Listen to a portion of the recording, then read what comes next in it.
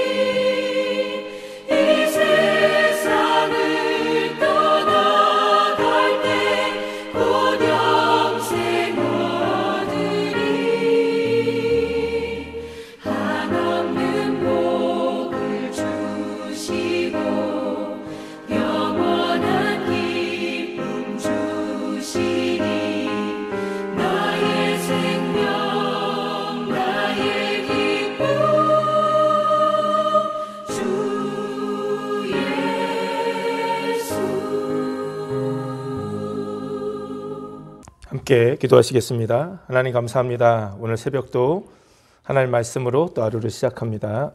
대강절의 시간 날마다 주님과 동행하며 승리하는 귀한 삶 살게 하여 주옵소서. 감사드리며 예수님의 이름으로 기도드립니다. 아멘. 우리 함께 나눌 하나님 말씀은 열왕기상 1장 5절에서 10절입니다. 때 학기세 아들 아도니아가 스스로 높여서 이르기를 내가 왕이 되리라 하고 자기를 위하여 병거와 기병과 전배 50인을 예비하니 저는 압살롬의 다음에 난 자요 채용이 침이 준수한 자라 그 부친이 내가 어찌하여 그리 하였느냐 하는 말로 한 번도 저를 섭섭하게 한 일이 없었더라. 아도니아가 수르의 아들 요압과 제사장 아비아달과 모의하니 저희가 쫓아 도우나 제사장 사독과 여호야다의 아들 분하냐와 선지자 나단과 시므이와 레이와 다윗에게 속한 용사들은 아도니아와 같이 하지 아니하였더라.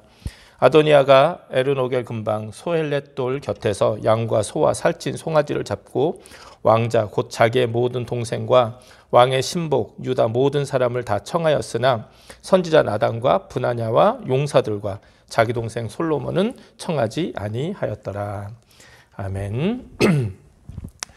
오늘도 하나님 말씀으로 하루를 시작한 여러분들에게 하나님 은혜가 함께 하시기를 바랍니다. 어, 성경을 어, 우리가 보게 되면 언제나 이 두 가지의 사람의 모습을 볼 수가 있습니다. 어, 첫 번째 인생은 교만해서 자기 스스로를 높이는 어, 인생이고 두 번째는 하나님이 친히 높여주시는 인생입니다. 오늘 본문의 아도니아는 이 교만해서 자기 스스로를 높이는 인생을 살았던 그 첫 번째 유형의 사람인 것을 우리가 보게 됩니다. 이 아도니아는 다윗이 헤브론에서 이 학기댁에서 낳은 네 번째 아들이었습니다.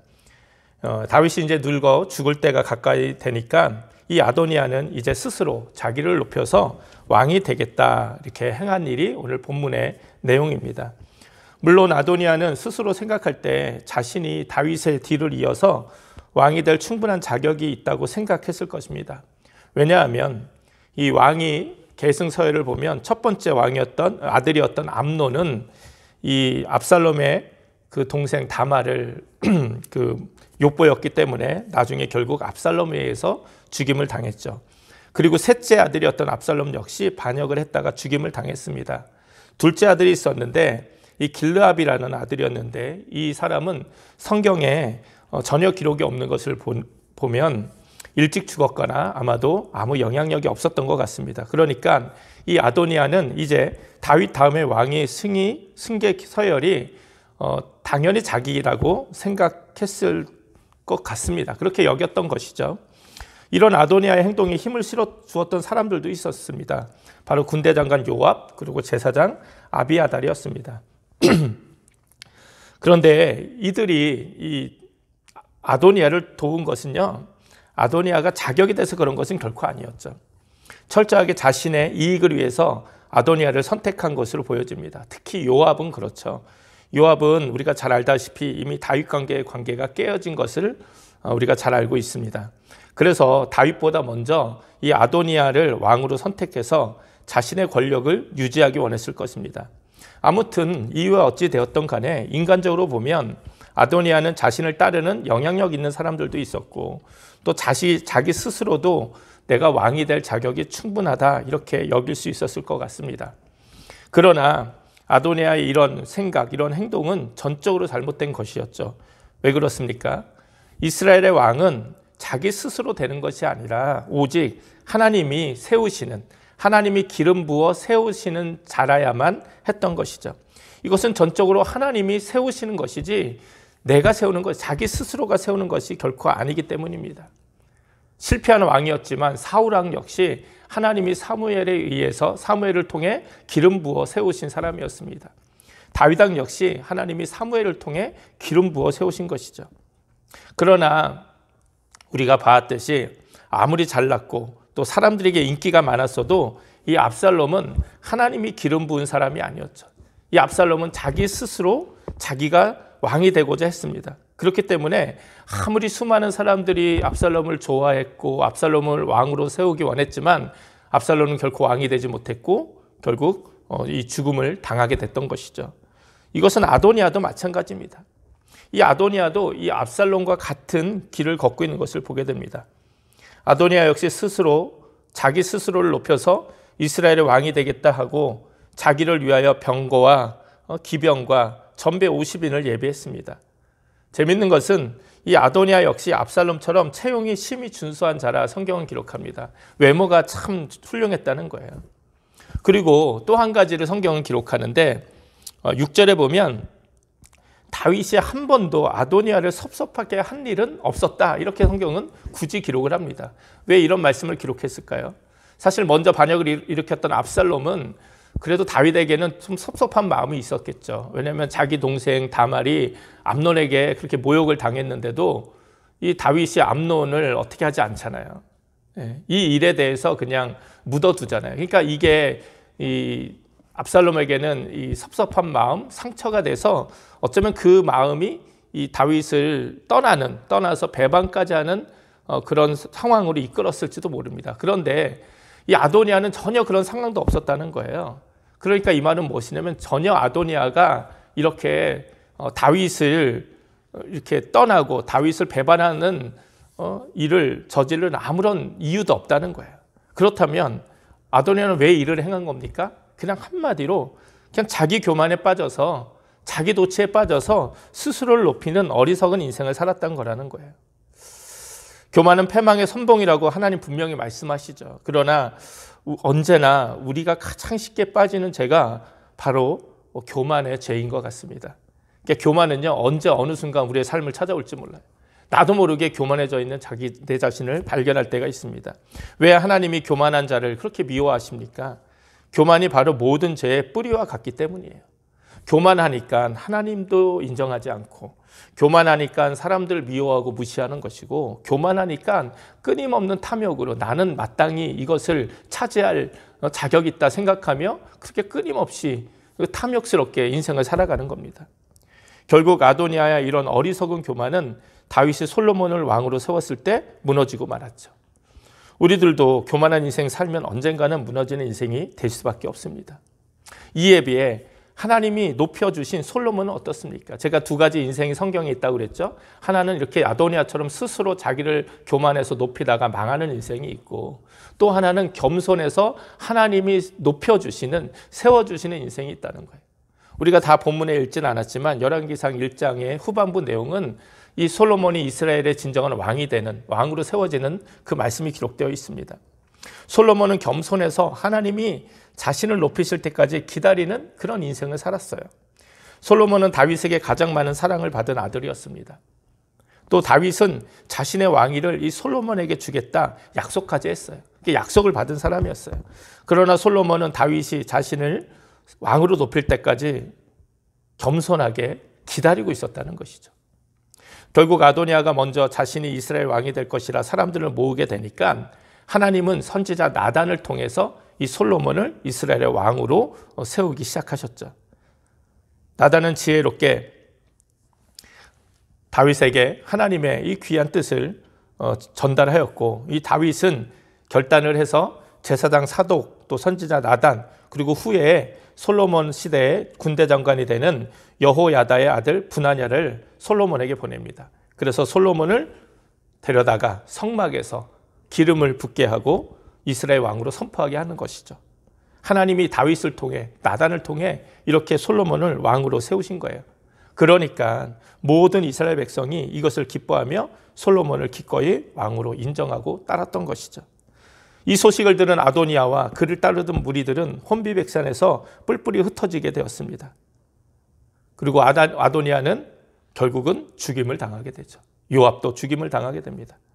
솔로몬은 다윗의 뒤를 이어 이스라엘의 왕이 되었습니다. 이렇게 하나님은 교만한 자를 물리치시고 겸손한 자를 높이십니다. 아무리 실력이 있고 열심히 있어도 교만해서 스스로를 높이는 인생을 사는 것은 마치 바벨탑을 쌓는 일과 같습니다. 우리 속담에는 물론 공든탑이 무너지랴 이런 말이 있습니다. 사람이 열심히 최선을 다해서 성실하게 살아간, 살아, 사는 삶은 결코 쉽게 무너지지 않는다는 거예요. 맞는 이야기입니다. 그런데 우리가 한 가지 기억해야 될 것은 성경은 교만으로 쌓은 바벨탑은 무너질 수밖에 없다는 거예요. 그러니 우리가 이것을 기억해야 됩니다.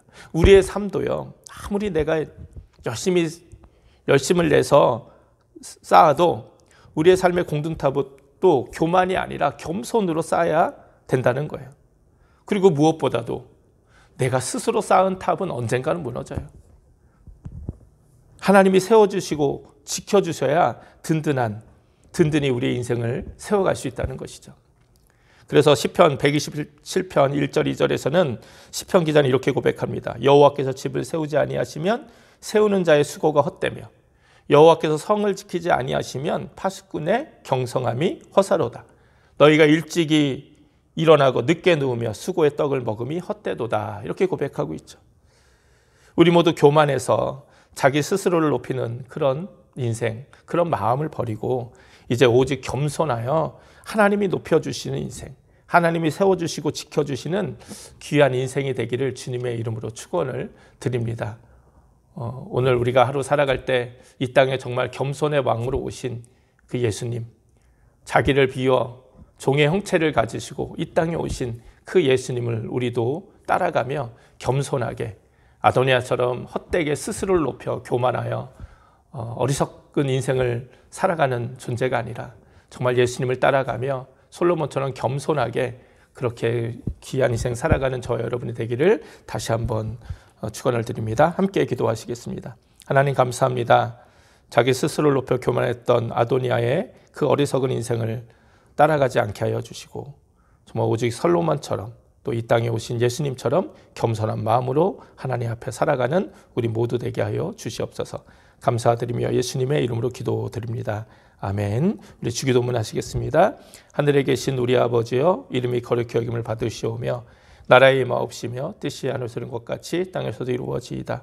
오늘날 우리에게 일용할 양식을 주옵시고 우리가 우리에게 죄진 자를 사여 준 것 같이 우리 죄를 사여 주옵시고 우리를 시험에 들지 말게 하옵시며 다만 악에서 구하옵소서 나라와 권세와 영광이 아버지께 영원히 있사옵나이다.